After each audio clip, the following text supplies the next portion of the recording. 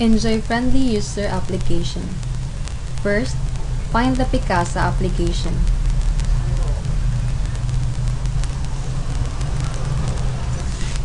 Next, search for the album wherein you can choose the photos you want to have in your collage. Then, click the Create Photo Collage. Choose Select All, then Remove.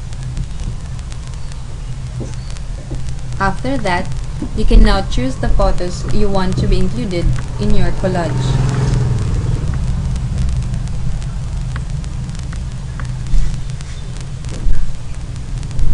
If you would like to arrange it accordingly, click the Shuffle Picture button.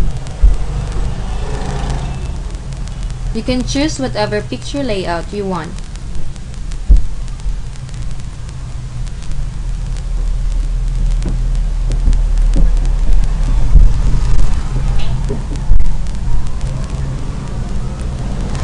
After then, you may now begin enjoying and exploring the different features of Picasa regarding on your photos that you have in your collage.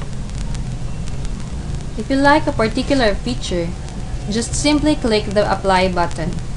And when you are contented with your collage, you can now save it.